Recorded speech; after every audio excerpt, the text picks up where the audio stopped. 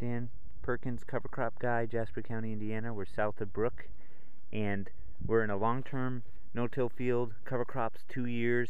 It's April 1st, and this was aerial seeded September 1st.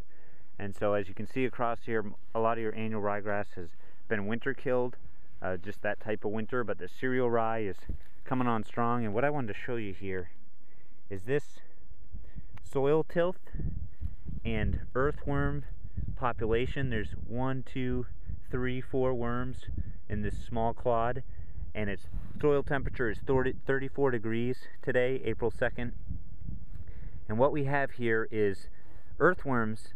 When they every inch they move as through the soil, they're passing worm castings, and those worm castings are seven times richer than the soil surrounding them because they've taken these sugars and carbon from the root and soil and concentrated it into our proteins.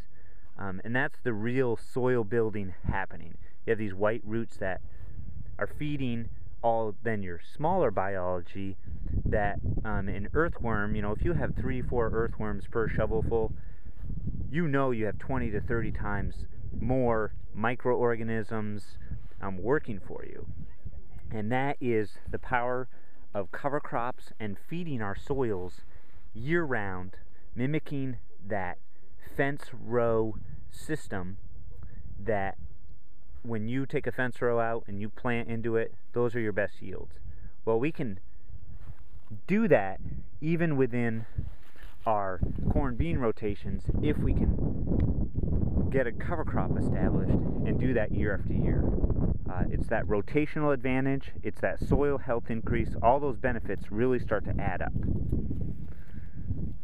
And what that adds up to is soil holding capacity, water holding capacity, nutrient holding capacity, all those things, and that's what we want to see. Dan Perkins, cover crop guy, Jasper County, Indiana.